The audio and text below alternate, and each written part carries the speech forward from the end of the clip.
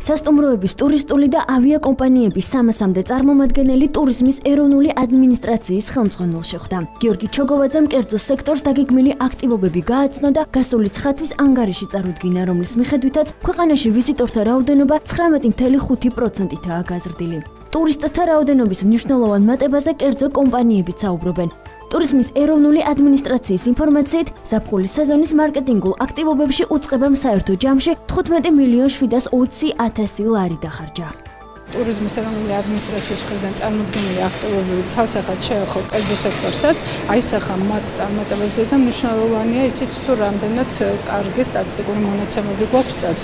თუმცა ამ პერიოდის განმავლობაში ის ესე ვთქვათ პრობლემები, რომელიც უშუალოდ ტურიზმის ინდუსტრიას აწუხებს, ეს გახლავთ სერვისის საკითხი, ინფრასტრუქტურის საკითხი, ტურიზმის ეროვნული ადმინისტრაციასთან ერთად ჩართულია კერძო სექტორიც ამ ესე ვთქვათ პრობლემების დაძლევაში. 2016 წლის ტურისტული სეზონი, რომელიც ჯერ კიდევ მიმდინარეობს მომხმარებლებს ძალიან პოზიტიური იყო.